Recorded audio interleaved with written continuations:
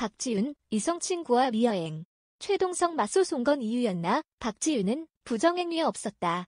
이혼 소송 중인 아나운서 출신 방송인 박지윤, 45 과 최동석, 46 일상방 상간 소송까지 제기한 가운데 최동석이 상간 소송을 제기한 것이 박지윤의 2022년 미국 여행 때문이라는 주장이 제기됐다.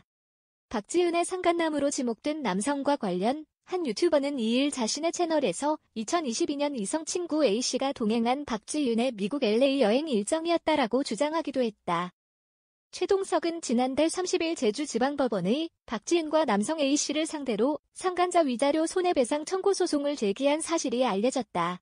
최동석은 박지은과 A씨의 부정행위로 혼인이 파탄났다며 이 같은 소송을 낸 것으로 전해졌다. 그러나 2일 박지윤 소속사 JDB 엔터테인먼트 측은 개인사라 소송 내용에 대해 일일이 확인은 어렵다면서도 혼인기간 중은 물론 이후 이혼 소송 중에도 어떠한 부정행위 또는 배우자 외 이성관계가 없었다는 것이 박지윤의 공식 입장이라고 반박했다.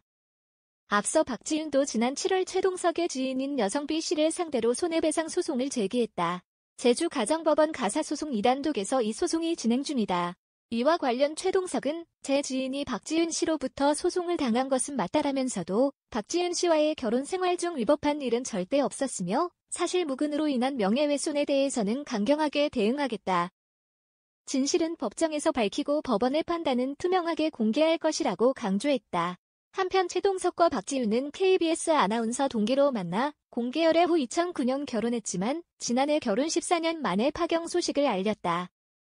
박지윤은 지난해 10월 30일 제주지방법원의 이혼 조정 신청서를 제출했고 이혼과 관련한 법적 분쟁이 1년여간 이어지고 있다. 이들은 스라엘 일남 일녀를 두고 있다.